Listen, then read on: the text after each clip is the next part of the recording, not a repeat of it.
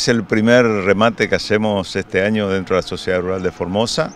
Coincide con nuestra fiesta del ternero y novillito formoseño que se hace hace 38 años, o sea que es un,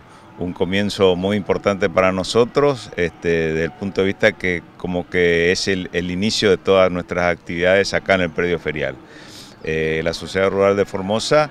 este, en este predio es, este, la función es esa, hacer remates, exposiciones, eh, venta de reproductores, aparte de las actividades este, que se hacen en el predio de baño de hacienda, baño de camiones, pesaje este, y, actividades sociales a través también de, las otras cosas que tenemos en, el, en la rural que son nuestros salones sociales. ¿Qué cantidad de animales entraron para el evento? En este momento creo que hay algo así como 3.300 cabezas, este, muy, muy buen ingreso, nos ayudó el tiempo, bueno, tuvimos ese chaparrón al comienzo de, semana, pero después este, mejoró, así que hay mucha hacienda de muy buena calidad, que es una de las cosas que, bueno, que quiero resaltar o queremos resaltar de la comisión directiva,